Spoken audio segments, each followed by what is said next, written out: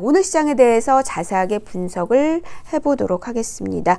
자, 서상영 팀장과 함께 하도록 하겠습니다. 팀장님 안녕하세요. 안녕하십니까. 네, 안녕하세요. 음, 좀 더 시장을 단순하게 보자고 하는데요. 앞서서 이야기를 들어보면 어떻습니까, 전문가? 아, 전문가님이랍니다. 예, 팀장님. 예, 네. 하긴, 예, 전문가 맞으세요. 예.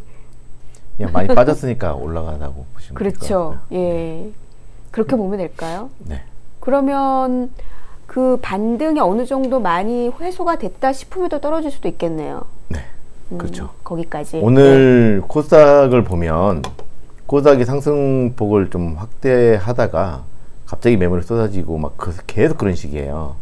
왜 그러냐면 이 코스닥이 저점 대비 그러니까 보면 코스닥 보면 거의 한 10% 이상, 12%, 13% 정도 빠졌어요. 트럼프 트럼프 때문에. 네. 그리고 나서 한 5%, 6% 정도 올라왔거든요. 음, 이게 오늘 한 1% 정도 올라가고 하면 7% 정도 올라온 거죠.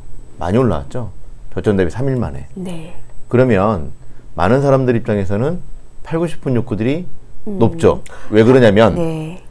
해결된 게 하나도 없잖아요. 그렇죠. 어. 그리고 오늘 아침에 미국 증시에서도 보면 미국 선물 시장 자체가 좀 빠졌던 요인, 화웨이 관련된 이슈. 근데 사실은 그것도 그거예요. 화웨이 관련된 그 시기 지연이라든지 이런 부분들은 나왔던 내용들이에요. 음. 근데 그게 보도가 되면서 매물이 쏟아졌죠. 또 한 번 반응했다는 거죠. 그러니까. 근데 그게 왜 그러냐면 예. 최근 들어서 미국 증시가 좀 반등을 좀 졌기 때문에 그걸 빌미해서 매물이 좀 출현됐다고 보시면 될 것 같아요. 음, 그런데 뭐 그렇기 때문에 우리나라 주식시장은 더 많이 빠졌기 때문에 미국 증시가 아침에 그렇게 밀린다 해도 우리나라 주식시장은 영향이 별로 없었고요. 두 번째가 뭐냐면 위안화가 평가 절하를 계속적으로 하고는 있지만 뭐 찔끔 그러니까 영향력이 거의 없을 정도로 시장에서 우려하고 있는 거와 달리 인민은행이나 이런 쪽은 좀 더 지켜보겠다라는 뜻으로 해석될 수가 있는 내용들이 부각이 됐다고 보시면 될 것 같아요. 그러다 보니까 시장 자체가 어, 전반적으로 빠지는 게 별로 없고 그냥 좀 버티는 그런 모습이라고 봐야 될 것 같습니다. 근데 이제 한 가지 좀 부담스러운 거는 보시다시피 이런 식으로 외국인과 기관이 계속적으로 매도를 하고 있고요. 음, 코닥도 마찬가지예요. 코닥도 대부분 다 매도를 하고 있는 입장이라서 여전히 이게 수급적으로는 조금은 부담되고 있다. 개인들이 사고 있으니 이게 뭐 그런 부분들 때문에 여기서 계속적으로 반등을 주기에는 뭔가 새로운 것들이 나와야 된다. 그 새로운 건 어떤 걸까요? 다음 주겠죠. 다음 주에. 그러니까 네. 이- 계속적으로 말씀드렸던 거 그러니까 이번 주 정도까지는 지지난 지난주에도 계속 변동성 이렇게 급할 줄은 몰랐지만 변동성이 있을 거라는 것들은 알고 있었던 그렇죠. 내용들이었잖아요. 예.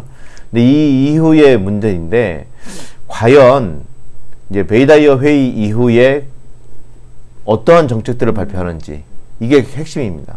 그 결과에 따라서 다음 주에 다시금 변동성을 키우면서 다시 1900 포인트를 하회할지 아니면 여기서 다시 반등을 주면서 2000 포인트를 다시 올랐을지, 다시 올랐을지. 챙겨 봐야 될 것 같습니다. 그렇지만 지금 당장은 보니까 만약에 뭐 여러 가지 조치들 그러니까 그 환율 조작국 발표하자마자 인민은행이 그 통화 안정 채권 300억 위안 발행을 해버리면서 위안화의 안정을 찾았고 예, 그러면서 국내 증시는 영향이 없이 반등을 줘버렸고요. 네네. 그 다음에 그 이하나가 인민은행이 계속적으로 평가 절하 예, 절하고시를 계속적으로 하고는 있는데 절하고시 하고 나서 항상 역외나 역내나 그 위안화가 오히려 좀 내려오는 네. 이게 어- 이하나 강세로 그쵸, 예. 예, 이어지는 그런 모습을 좀 보여왔었기 때문에 우리나라 증시가 좀 안정적인 모습을 좀 보였다는 거죠. 음. 그렇기 때문에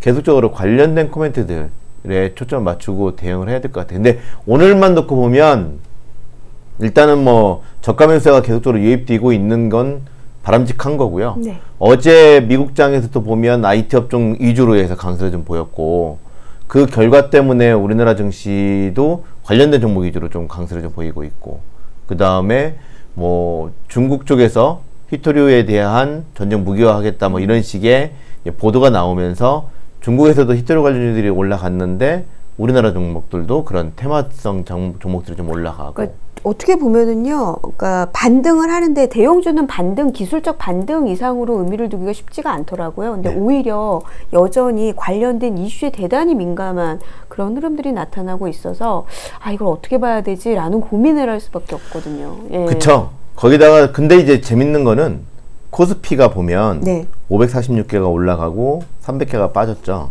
음. 근데 코스닥을 보면 800개가 넘게 올라가고 400개가 빠졌어요. 네. 두배 이상 더 많은 거예요. 그러니까 대부분에 보면 미국 증시들도 보면 중소형주 위주, IT 중소형주 아, 위주로 많이 올랐거든요. 예. 그랬는데 오늘 우리나라 주식시장도 코스닥도 이게 변동성을 보- 키우고 있지만 대형주 위주에 좀 부담을 가졌던 거지 대부분의 종목들은 다 올랐어요. 네, 투자 네, 심리 네. 자체가 개선되고 있는 거죠. 이건 개인들이 사고 있기 때문에 이게 기관들보다도 뭐 그런 흐름이 좀 이어졌었고 일부 종목군들이나 이런 쪽에서의 상승이 시장을 왜곡시켰다고 보시면 될 것 같아요. 그러니까 좀 올라가고 뭐 저쪽 하지만 대체적으로 대부분의 종목들 상승 종목들이 더 많았던 하루였기 때문에 투자 심리는 그렇게 나쁜 모습은 아니라는 네. 거죠. 그 결과가 지금 오늘까지도 나오고 있다고 봐야 될 것 같습니다. 음.